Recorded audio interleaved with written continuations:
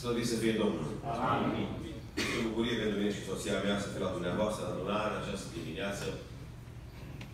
Pentru prima dată la Coșcufă de Duminică, la Montreal, aici cu dumneavoastră, a fost și joi. Un loc nou pentru noi și o bucurie să vedem fețe, frați și surori pe care nu i-am cunoscut. De asemenea, o bucurie să văd frați și surori pe care i-am cunoscut în tinerețe. Doresc ca Domnul să-i binecuvinteze. Amin. Am să predic așa cum spunea Pavel în slăbiciunea trupului, oricât am încercat cu medicamente internate cu răceala.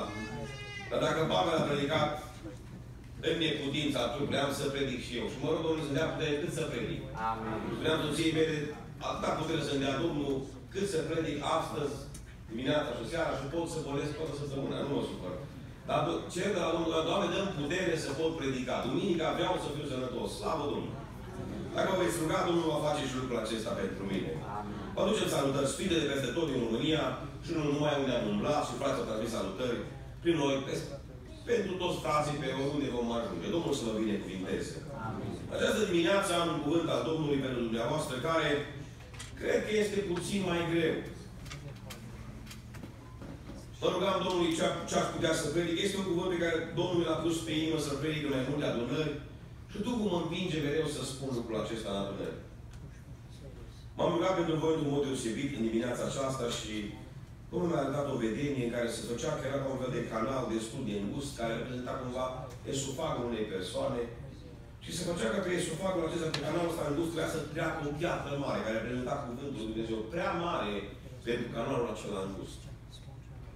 Și am înțeles din partea Domnului că unii vor primi, da, e greu cuvântul acesta, poate chiar de loc. Și am primit de la Domnul un cuvânt din Scriptură pe care spunea Pavel în 2 Corinteni, capitolul 6, unde el spune în versetul am dat drumul gurii față de voi, corintenilor. Asta e partea mea. Și îmi voi da drumul gurii. Spune cuvântul, mi s-a lărgit inima și vreau să lărgesc inima. Dar spune acolo Pavel, faceți-ne și voi la fel. Lărgiți-vă și voi inima. Cuvântul lui pentru este frază din Montreal, lărgiți-vă puțin. S-ar putea să existe cuvinte ale Lui Dumnezeu care să fie provocatoare pentru noi. În general, noi potrivim lucrurile așa după cum ne place nouă și ne place să ne amăgim că totul este bine. Însă uneori cuvântul ne surprinde și ne arată că nu suntem bine. Întrebarea mea este ce facem? Vom tăia din cuvânt ca să se potrivească așteptărilor și pretențiilor noastre sau ne vom lărgi noi după cuvântul lui Dumnezeu? Dumnezeu să ne binecuvinteze. Amin. Știți că mergem la doctor, întotdeauna este așa o, o nervozitate și o așteptare tulburătoare. Nu știi. La un control general, oare ce găsești la doctor? Mai nou se întâmplă un, un scenariu des întâlnit, mergi la doctor, te simți bine, nu simți nimic și te trezești că ai cancer.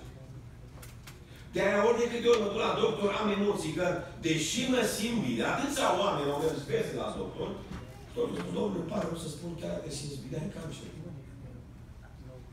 Nu întotdeauna faptul că ne simțim bine, faptul că noi credem că suntem bine, înseamnă că și suntem bine. Acum, întrebarea mea este, oare suntem gata să facem o radiografie în fața Cuvântului Lui Dumnezeu? Avem onestitatea și sinceritatea necesară să ne verificăm în fața radiațiilor Duhului Sfânt sau nu? Un om fățarnic nu are nicio șansă în fața Cuvântului Lui Dumnezeu, dar omul sincer și mă rog ca să primiți cuvântul, așa cum spunea Pavel, să primiți cu smerenie cuvântul săvit în voi. Domnul să dea această atitudine. Dați-mi și eu în fața cuvântului. Este o întrebare care am Biblie. În 1 Corinteni 14 cu 26 se pune o întrebare. Ce este de făcut atunci, fraților, când vă adunați la oaltă? Hai să vedem cum se petrecea o slujbă divină acum 2000 de ani. Și hai să punem slujba divină de acum 2000 de ani, da, părtășia frățească de acum 2000 de ani, alături de programul nostru de astăzi. Sunteți de acord? Și să vedem dacă seamănă. Dacă seamănă, zic, slăvit să fie Domnul. Amin. Dacă nu seamănă, trebuie să schimbăm ceva. Ce este de făcut, fraților, când vă adunați la o lată? Aici prea pusem întrebării.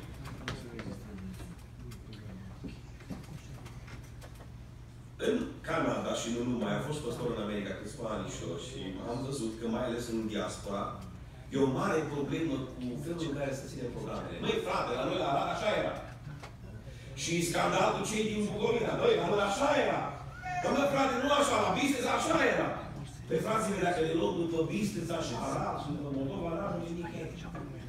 Că dacă facem copii Xerox după copii Xerox după copii Xerox, după copia 100 nu mai vezi nimic. În această dimineață Duhul Sfânt ne trimite la original. Ne vom uita la cea mai originală copie, Sfânta Scriptură. Amin. Și vrem slujbele noastre de astăzi să arate exact ca acum 2000 de ani, în viacul apostolic. Și ziceți cu toții, Amin. Amin. Ce este de făcut, fraților, când mă donați la ăla? Primul lucru. Dacă unul are o cântare, să vii să fie Domnul pentru cântare. Se pare că așa acum 2000 de ani, ca și acum astăzi, oamenii erau îndrăgostiți de cântare. Prima, întotdeauna, cea mai apreciată, cea mai iubită, în adunările credincioșilor, credincioșilor de toate, din toate timpurile, a fost cântarea. Și astăzi, după 2000 de ani, noi încă iubim în adunările Domnului cântarea și din nou zic Dumnezeu să binecuvinteze cântăreții. În această dimineață aș dori să ne rugăm în mod special pentru ei, ca Dumnezeu să lase o ungere specială peste cântăreți. Frații mei, Dumnezeu vrea cântarea să fie sub ungerea Duhului Sfânt. Dumnezeu vrea ca la ora 6 sau dimineața la 10, la 9, când ne întâlnim, cântarea să fie direct un moment spiritual. Nu cred că este normal să așteptăm ca Dumnezeu să înceapă să ne vorbească la 10 sau la 11. Dumnezeu începe să ne vorbească din momentul în care începem să cântăm pentru slava lui Dumnezeu. Cântarea este un moment special în adunarea Domnului. Cântarea trebuie să fie un moment de părtășie și de cercetare divină. Cântarea nu este un moment publicitar. Cântarea nu este un moment de pauză între două momente spirituale. Prin cântare Dumnezeu vrea să ne vorbească. De aceea zic, Doamne, binecuvintează cântăreți. M-am bucurat să văd că aveți formații care cântă frumos. M-am bucurat să văd câte puncte au fost, câte dorințe. Domnul să vă binecuvinteze. Cântarea are loc în casa lui Dumnezeu. Dragii mei, ca o paranteză pentru cântăreți, Dumnezeu vrea cântarea, spuneam, să fie un moment spiritual, un moment de inspirație, un moment de călăuzire divină. Nu cred că, de fapt, standardul pentru cântare este inferior standardului pentru predică, ci Dumnezeu vrea cântarea să fie la fel de spirituală ca și predică. Amin. Amin. Notam un moment interesant din Sfânta Scriptură în care prorocul Domnului Elisei se întâlnește cu o situație în care trei împărați vin să-i ceară sfat. Trei împărați.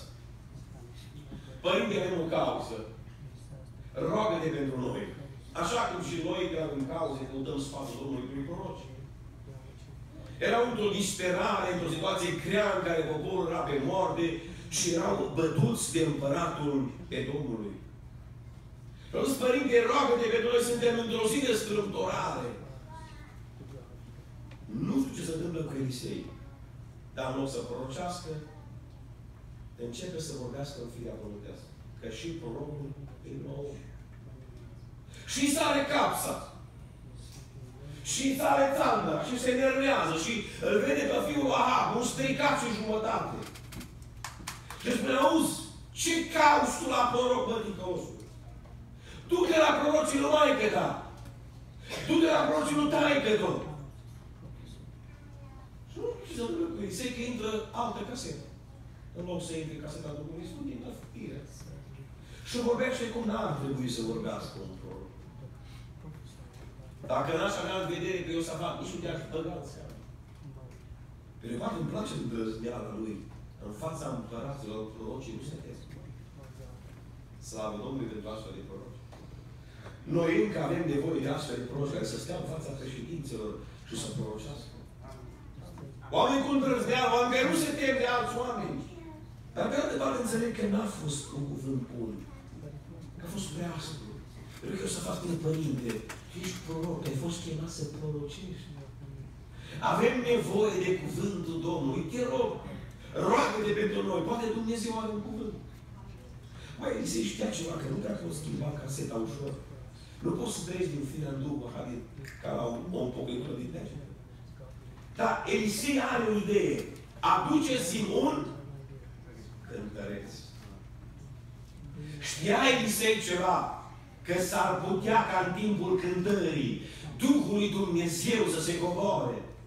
Pentru că știa Elisei că această cântare a Domnului are putere să transforme. Spune cuvântul așa.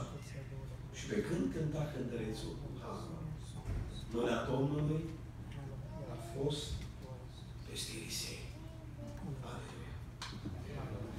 Astfel de cântăreți avem nevoie la adunările noastre.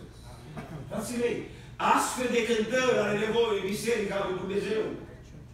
Vin de acasă și eu ca Elisei, că numai om, vin capsat, vin supărat. O călcat pe nerv copiii, o enervat soția, o enervat soțul, am neplătit biluri, am probleme financiare, sunt îngrijorat, am văzut știrile poate și m-am tulburat văzând crimele din România sau știu eu ce și vreau ceva să schimbe unda lucrurilor. Ce mare har să avem astfel de cântăreți în adunările noastre. Când venim de acasă în firea pământească, obosiți, tulburați, să ne transforme cântările lui Dumnezeu. Când cântă copiii aceștia, copiii aceștia, să simțim prezența lui Dumnezeu. O, Doamne, binecuvintează Duhul Sfânt să fie peste ei, dragii mei. E nevoie de ungere peste cântăreți. Pentru foarte mulți cântare, în momentul așa puțin important, predica, frate, trebuie să fie credincioși cântărețe, da? Predicat, dar cântăreții, la un moment de important, frate, pot fi și mai firești. Asta e o tragedie în bisericile noastre. Tolerăm tine care știm că fumează. Lasă, frate, că la afară merge. Tolerăm tine care știm că nu trăiesc curat. Frate, la chitară merge. Nu este așa, frații mei. Dumnezeu vrea sfințenie la altarele nostru. Dumnezeu vrea pocăință și aici, la orchestra, la un este un cuvânt al Domnului care iarăși îmi place un portret al unui cântăreț după placul lui Dumnezeu. Și mă rog ca toți să fie ca ăsta. Întâi să avem capitolul 16 spre cuvântul despre un mare cântăreț despre care noi vorbim des, David. Ascultați portretul lui David, CV-ul lui David, pe care un oarecare om din popor îl prezintă înaintea împăratului când a venit vorba să-l angajeze ca și cântăreț. Spune cuvântul, căutați un slujitor care să cânte din harpă. Și spune unul, iată am văzut, cunosc eu un fiu al lui Isai Betlehemitul, care știe să cânte. Foarte important să știi să cânți. Cred că n-ar trebui să dăm microfonul la oricine. Aici trebuie să cânte cine știe să cânte. Noi nu gândilăm orgolile nimănui. Dacă frate n-ai voce, ne pare rău. Că mai spune frate, oricine are inimă bună. Cine are inimă bună să cânte la duș acasă. În anuare cântă cine știe să cânte. Mai spune cum mai departe. El este și un om tare și voinic. Ce frumos. Nu? Și un bărbat așa puternic, războinic. Vorbește bine. Este frumos la chip. Pe când citești CV-ul ăsta, cred că nu este fată loial să fi respins pe băiatul ăsta. Și frumos. Și războinic, și chipeș, și cânta bine, și vorbea bine culmea. Dar ultima le încunurează pe toate și Domnul este cu el. Mărit să fie numele Domnului. Astfel de oameni trebuie să fie la altarele Domnului. Amin. Dumnezeu să le binecuvinteze. Amin. Mă rog, Domnul, pentru cântăreția adunării din Morea, Dumnezeu să umple cu Duhul Sfânt. Amin. E nevoie de astfel de oameni care să-L aibă pe Dumnezeu în inimă. Nu cred că putem să tolerăm copii prea tineri care nu sunt credincioși lui Dumnezeu. Mai ales la cântări în comun. Este o modă în bisericile românești. Vin în față copii care nu sunt născuți din nou. Nu sunt botelați în apă, nu sunt botelați cu Duhul Sfânt și ne conduc pe noi în închinare și întreb, unde mă conduce? Că nu-L cunoaște pe Dumnezeu. Frații mei, Dumnezeu la oameni născuți din nou aici. Amin. Oameni care să-L cunoască pe Dumnezeu despre care cântă. Da, știu că am fost tolerat și noi informații, că am fost copii cu speranța că e o bucăi cândva, dar de la o vârstă lucrul acesta este inacceptabil. La o vârstă înaintată să ai 20 de ani și să nu fii hotărât pentru botez și să mai ai pretenții să cânți în adunare? Când ajungi la vârsta maturității, trebuie să te hotărăști pentru Dumnezeu. Altfel, nu poți să slujești. Așa zic Dumnezeu să nască pentru cer toți cântăreții. Amin. Mai mult, Dumnezeu să-i binecuvânteze cu umbrea cu Duhul Sfânt. Amin. Hai să acceptăm că Dumnezeu vrea și asta. Mă dau la un alt standard biblic pentru cântăreți care îmi place foarte mult. Citeam aici despre cântăreții pe care David i-a angajat la, la templu. Știți că urmă cu mii de ani, la templul din Ierusalim, cântăreții erau angajați, trăiau în muzică. Noi astăzi suntem aproape ofensați când trebuie să plătim un păstor. Mi se pare greu. Ei, în vremea lui David erau plătiți și cântăreții toți, trăiau de la templu. Așa era vremea. Deci, sigur, era un popor întreg care susținea acest proiect. Nu o domenică mică.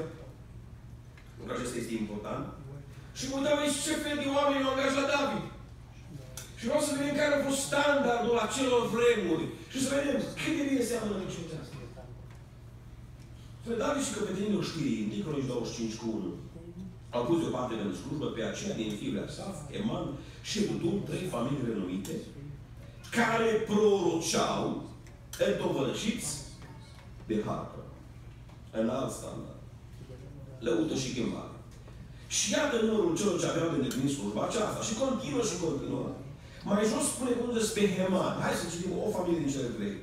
Toți fiii lui Heman, care era văzătorul împăratului, ca să descopere cuvintele lui Dumnezeu și să înalțe puterea lui.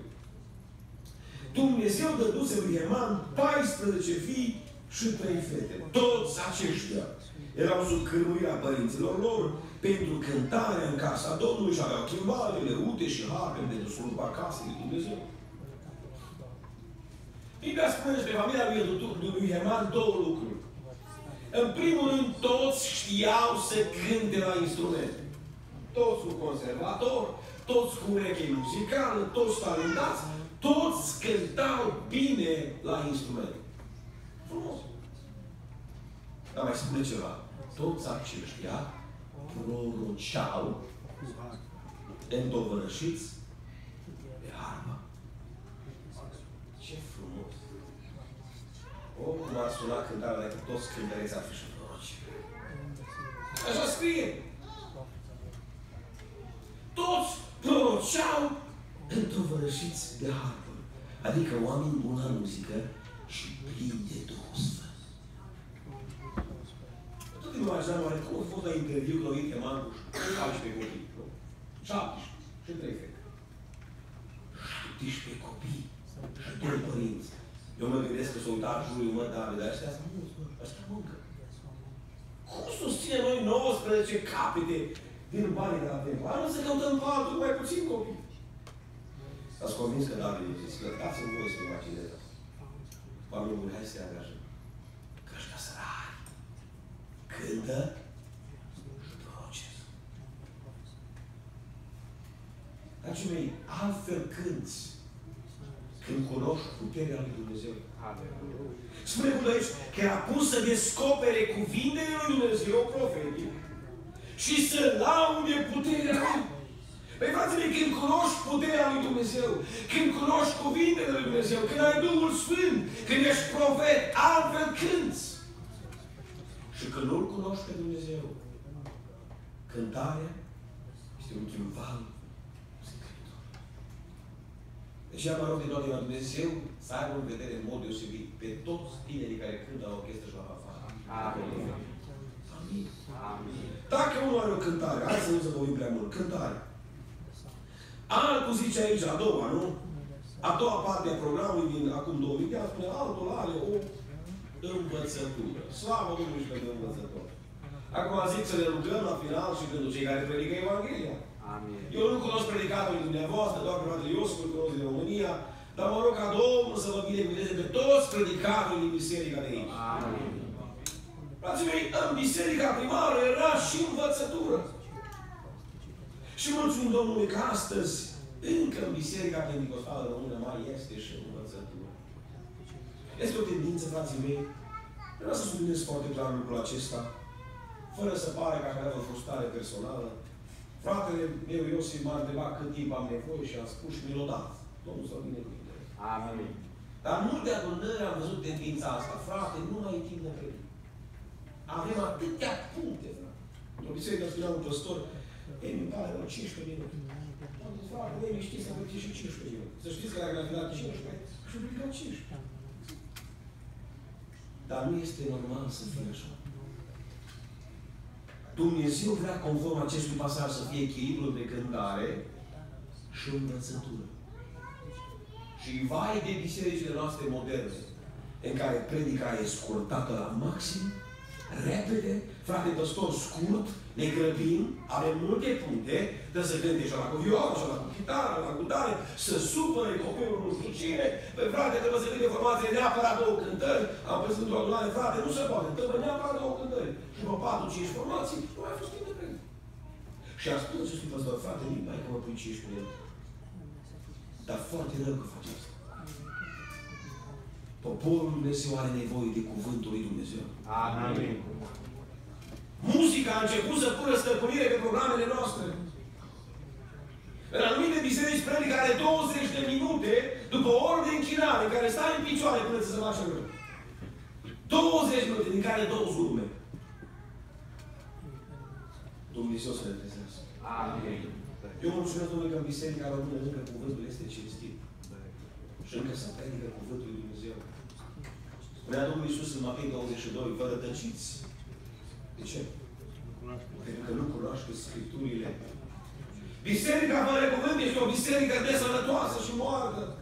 De ce am ca Dumnezeu să mă dea cuvânt în fiecare duminică? Amin. Că sunt predicatorii luști sau oameni obișnuiți, că sunt oameni cu școli teologici sau fără, Dumnezeu să lase hrană în locul acesta. Amin. Poporul are nevoie de cuvânt. Poporul are nevoie de acest echilibru de muzică și cuvânt. Iar zic că multe adunări atât de greu să predici.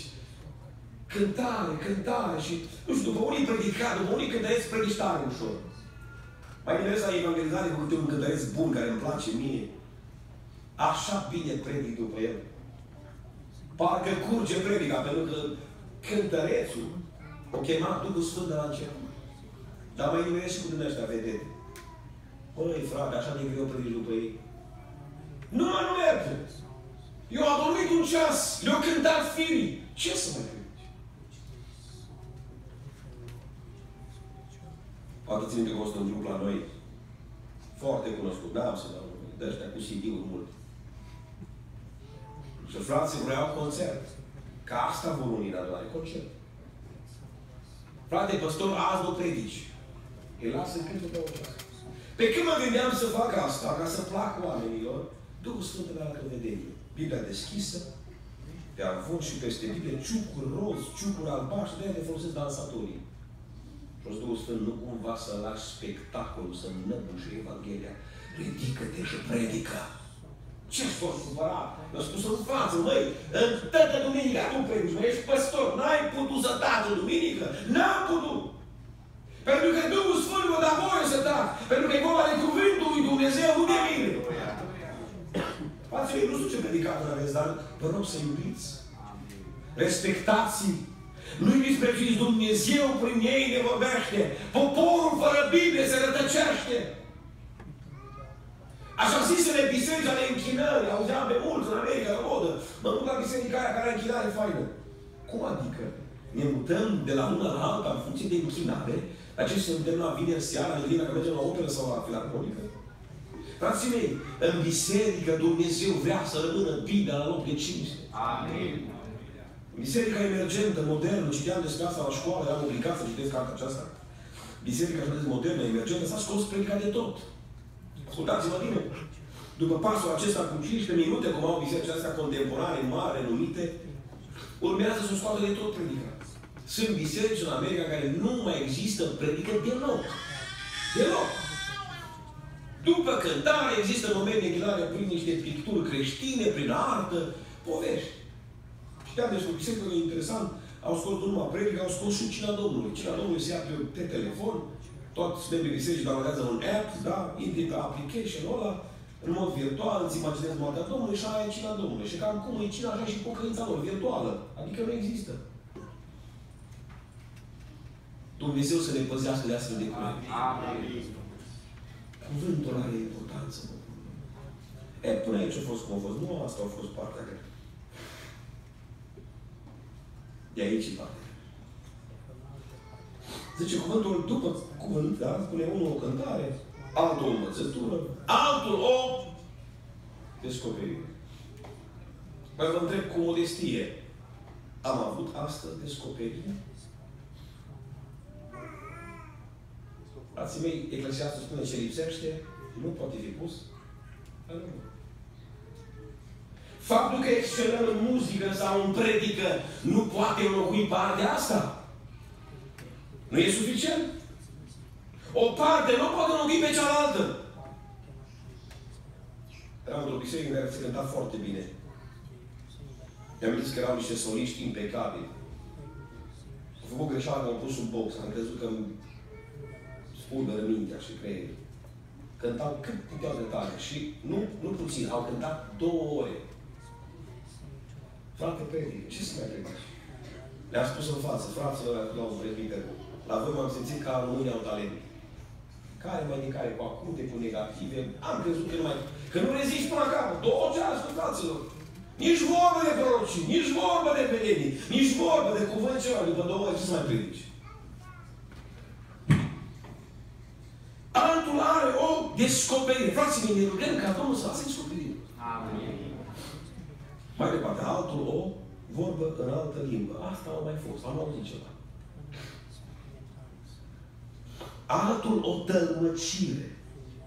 Când am avut ultima oară tălmăcire la Hai să ne gândim serios. Biserica primară erau tălmăciri la slujbele de duminică. Cu adevărat, există locuri, câteva, nu foarte multe. A fost în România, Biserica din Dumrăveni, în care în duminici obișnuite de la cor, se vorbea în limbi și cineva tălmăcea și invers, se schimba prin sală mai multe persoane care au darul acesta o tălmăciri. Mă bucur, dar e rar. Mai departe, spune cuvântul aici, Versetul 29. Cât despre proroci să vorbească doi sau trei și ceilalți să judeci. Azi eu n-am auzit prorocii, nu știu, poate că n-am auzit eu bine. În biserica primară erau prorocii la toate slujbele. Așa cum erau cântări, așa cum erau predici, tot așa exista partea a treia, manifestarea darurilor supranaturale. Partea a treia a început să dispară în bisericile noastre românești. E rară. E foarte rară. Vă dați seama cât de mult se producea în biserica primară dacă Pavel, fratele Pavel, vine cu stingătorul? Atât de mult se producea acum 2000 de ani la adunare, încât Pavel vine cu stingătorul. Oameni, stați puțin. Stați să lămurim treaba. Prea mulți doi, maxim trei pe rugăciune. Ne oprim, judecăm lucrările, era un lucru important, apoi ne rugăm iară și la doi sau trei, nu-i problemă. Dar nu totodată. Fraților, aici diferim tare mult. Astăzi, dacă avem două sau trei prorocii pe lună, e mare bucurie. În unele adunări, două sau trei prorocii pe an. Într-o adunare în Arad spunea și la băienii, eu am emoții pentru copilul meu că dacă ajunge într-o biserică pentecostală cu proroci, să scrie. În biserica în care a crescut el, până la 16 ani sau tare, n-a auzit nicio prorocie. Ați auzit? Nici o prorocie. Dar cine cred, și asta e mesajul meu de astăzi, cred că Dumnezeu vrea în viacul 21 să aducă înapoi în adunare manifestarea publică a darurilor supranaturale. Frații mei, nu la certul de rugăciune. Biserica noastră mai are câte ceva, câte o flacără prin casă. Și nu judec lucrul acesta. Eu mulțumesc lui Dumnezeu că măcar în casă să mai prorocești. Să voia lui Dumnezeu. Ca să aducem prorocia aia care se manifestă haiducește prin case. Să o aducă Dumnezeu aici. Amin. Duminica dimineața.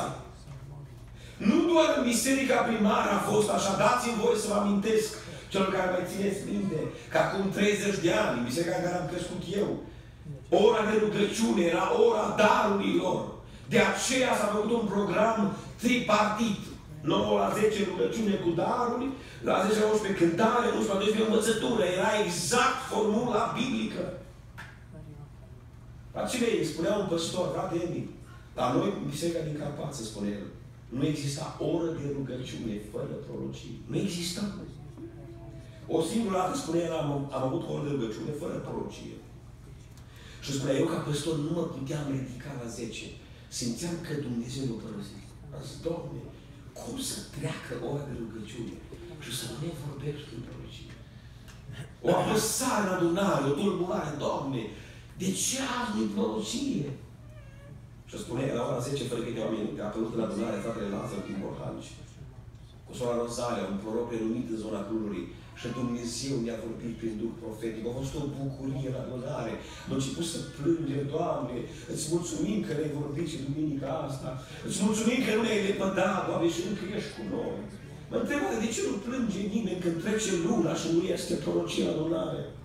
Când trece anul și nu-i prorocie în adunare și ne amăgim că avem muzică peste muzică, formații peste formații, predicatori peste predicatori și nu avem glasul profetic în casa lui Dumnezeu. Dumnezeu să ne cerceteze în dimineața aceasta. Să ne întoarcem la formula lui Dumnezeu.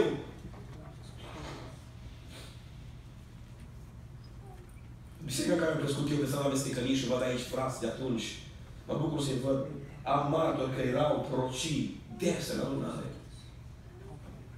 Dumnezeu vrea să aducă înapoi vremurile acelea. Și visez, frații mei, dați-mi voie să visez data viitoare când vin la voi. Nu o să am timp de predică, de proroci. Măcar că mă contrazic puțin. Dumnezeu vrea echilibra. Vreau să văd și partea înaltă. Că prea deseori prorocii sunt marginalizați. Vă pun o întrebare pentru timpul care mai este, așa pe scurt, oare de ce nu avem prorocii? Oare de, de ce nu sunt daruri? Hai să dăm pagina înapoi, o pagină, 1 Corinteni 12. Eu cred că problema aici la noi minte. Cred că vrăjmașul a zidit erezii în mintea noastră. Nu am experimentat darurile până nu ne-am schimbat teologia. Că n-am știut. Credeam că așa trebuie să fie, fără astea. Când am înțeles doctrina și Scriptura, și darurile au început să apară. De ce nu se manifestă darurile? Mulți n-au înțeles ce sunt darurile.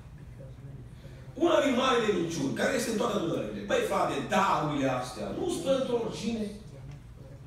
ce oricine prorocește, da? Păi numai văduva aia sfântă de la marginea sa. Numai fratele ăla care are 60 de ani și postește 3 zile pe săptămână. Păi da, frate, darul sunt pentru elita cultului pentecostal. Sunt pentru elita bisericii, 2-3 bătrâni, dar nu pentru noi. Fals. Minciună drăcească. Spune Cuvântul în Corinteni 12 următorul lucru. Sunt feluite daruri care este același Duh. Sunt feluite scrupe care este același Domn. Sunt feluite lucrări care este același Dumnezeu care lucrează totul în toți. Și versetul 7. Asta e revelație pentru tine. Și fiecăruia îi se dă arătarea Duhului pentru folosul altora. Amin. Amin. Frații mei, câți intră aici? Ce ziceți? Câți? Toți. Fiecăruia îi se dă arătarea Duhului. Și frații mei, hai să nu scăldăm. Că darul, darul dărniciei și darul cântatului, mai jos scrie clar, de pildă, și se înșiră cele nouă daruri supranaturale. Nu ne jucăm cu Biblia. Frații mei, pentru toți să astea. Nu celelalte, darul încurajării și știu ce daruri avem noi. Darurile astea Frații mei, înțeleg din Scripturi că nu există botez cu Duhul Sfânt fără dar. Nu există. Ăla nu-i Duhul Sfânt. Ăla nu-i Duhul Sfânt. Duhul Sfânt pe care l-am primit eu a venit cu cadou. Că e un Dumnezeu bogat. Că e un Dumnezeu bun. Și spune acum în Scriptură în Romani, lui Dumnezeu nu-i pare rău de darul. Frate și soră care ești botezat cu Duhul Sfânt și mai darul, puneți întrebări serioase. Unde-i problema? Că Biblia spune că fiecare. Frații mei, la predică trebuie să recunoaștem, nu încăpem chiar toți. Îmi place că ați făcut un anunțare mititel, ca să înțeleagă toți care și în capul unul. Mai sunt tabelele lungi, care transmit un mesaj fals, că încăpem toți. Nu încăpem toți, că e unul. Nu oricine poate să vorbească aici. Nu oricine poate cânta. Văd aici trei, patru microfoane. Unii talentați pot, alții nu. La prorocie încăpem toți. La vedenii avem loc toți. O, ce mare e Dumnezeu. Dar nu mai e Dumnezeu. Este un cuvânt care spune, fiindcă puteți să prorociți câți? Toți, aici jos scrie. Fiindcă puteți, versetul 31, să prorociți toți. Tot aici. 14. Cu 5. Aș dori ca toți să vorbiți în altă limbă, dar mai ales să... Câți? Toți. Aici e democrație, frate. În comitetul ca toți, la amor. Dar la darul e democrație, că avem toți. Deci zic, Dumnezeu să stănească o gelozie în poporul imoral. Să căutăm asta. O altă minciună, desigur, e asta cu căutatul. Frate, nu e zice, da, nu știu de unde e dintre bătrâni o teorie, pe care eu nu o cred. Adică respect predică, am auzit despre predică asta, dar nu o cred. Că nu este piesă certară. Vezi, Doamne, trebuie să fie speriți. Dar atunci când cerem Duhul Sfânt, botezul nu trebuie să... Adică nu, și asta o capital. În Biblie la mine scrie clar că trebuie să cerem darul. Spune în clar, urmăriți dragostea, umblați și după darul duhovnicești. Dar mai ales să... E, frate, scrie să umbli după ele. Tot aici. Umblați, dar după darurile cele mai bune. 31 cu 31. Și cel mai frumos versetul 14 cu 12.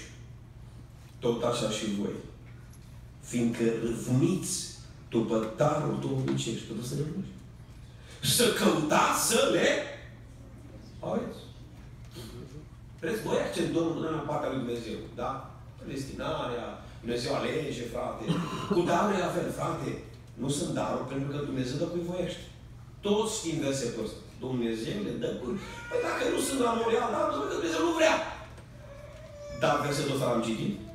Că în toată Biblia responsabilitatea este împărțită între Dumnezeu care dă după placul Lui și noi care umblăm și căutăm să lucrăm cu Dumnezeu. Păi scrie aici să cauți să le ai. Nu scrie. E treaba ta. Nu mai da vina pe Dumnezeu că nu dă, că nu vrea. Tu n-ai căutat să le ai.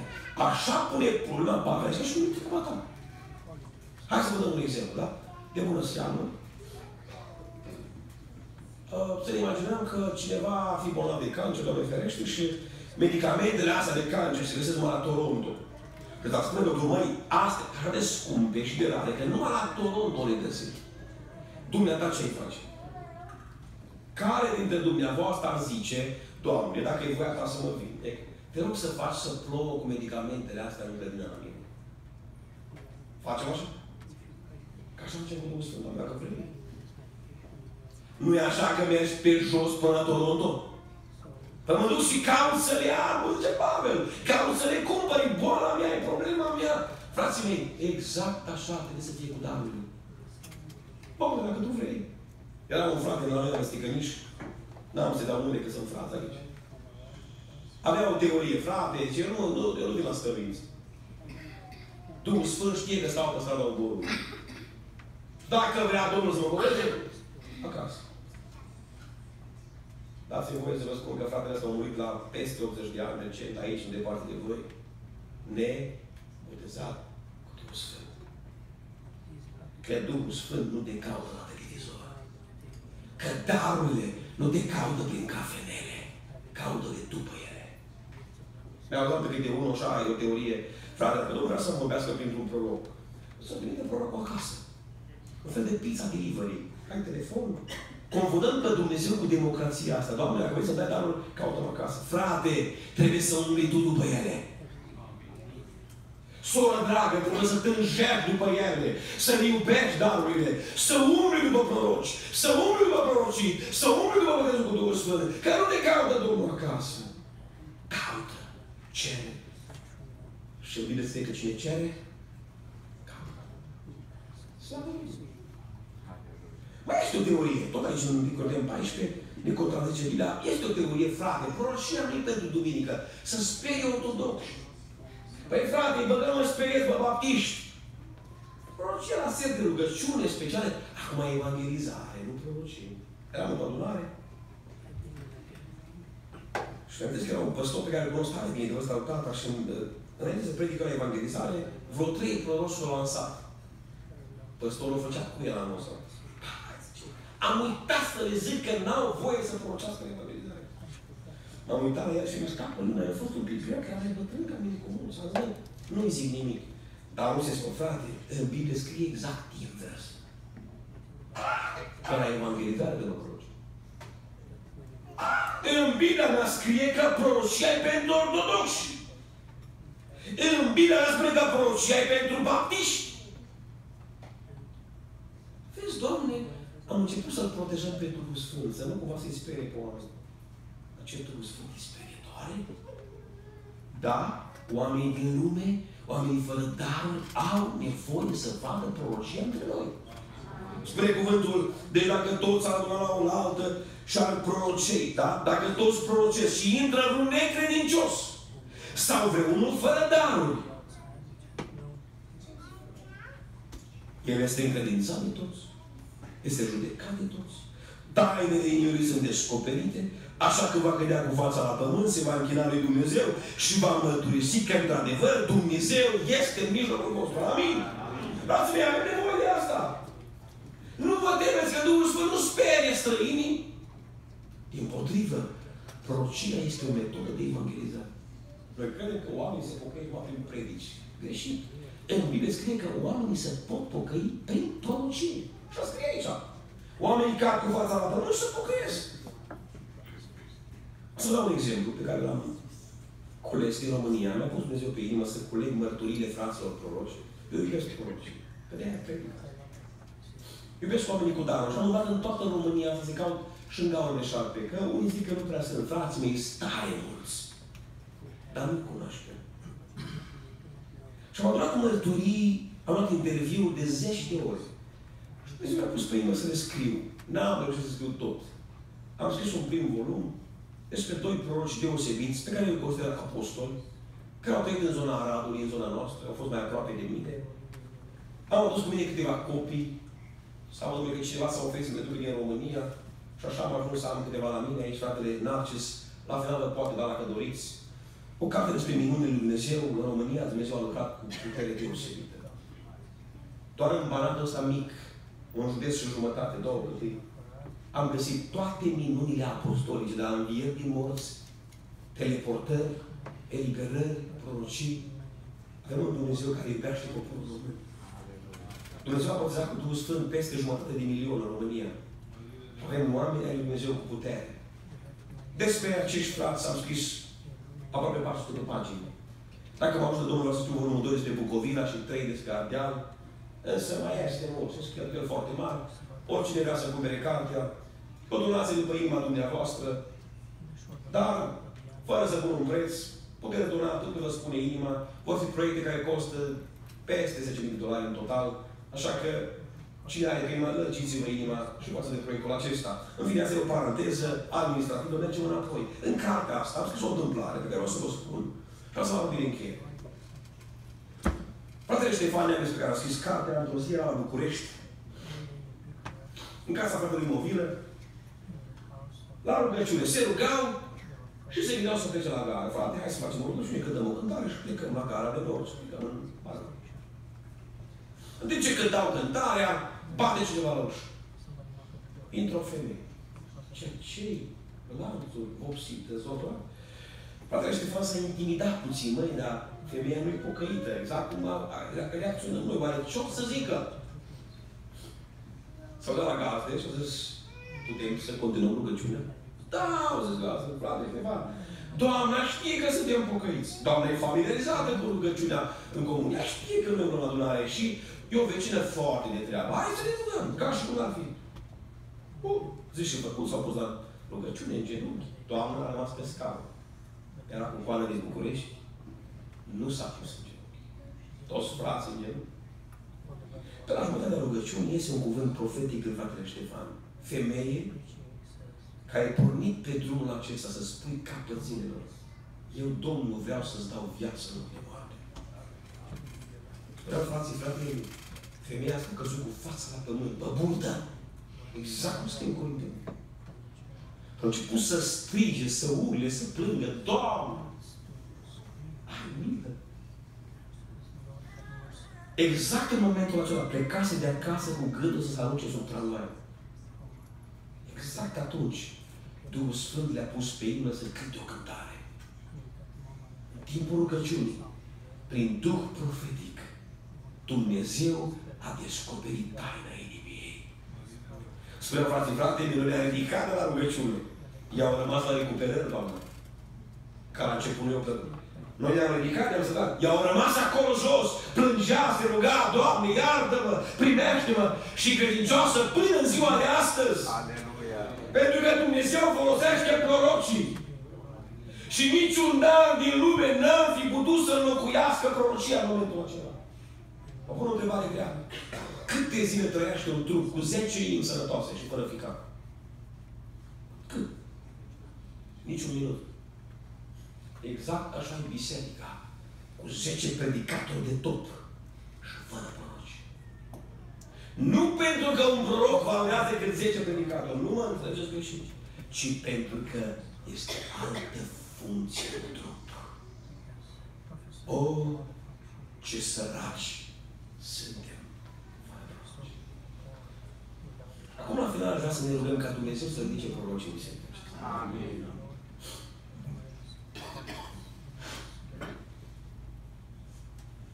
Mi-a dat Dumnezeu un angrenaj cu roți multe, ca și cum ar fi un telescaun, sau un teleschi cu multe roți. Care era destul de... Era funcțional, mergea, se învârtea, dar era destul de vechi.